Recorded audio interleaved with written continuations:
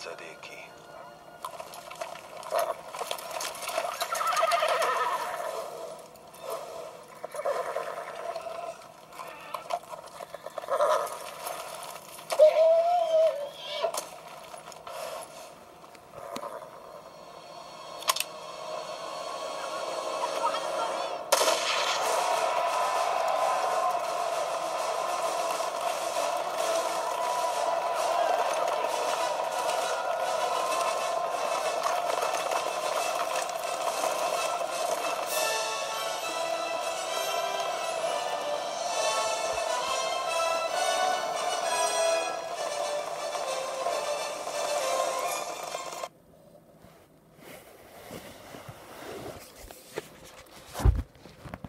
This film um, was based on a, a relig- religious story of Jesus.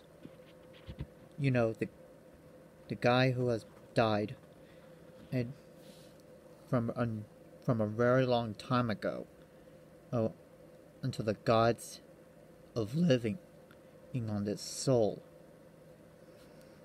And, uh, he was risen from the dead. He dies for us and every and and including our livings and all that stuff.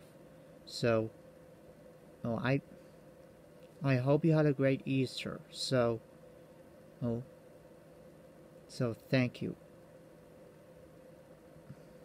I mean hope you have a great great Easter everyone. This is me, Micah Fambrough, signing off. Goodbye.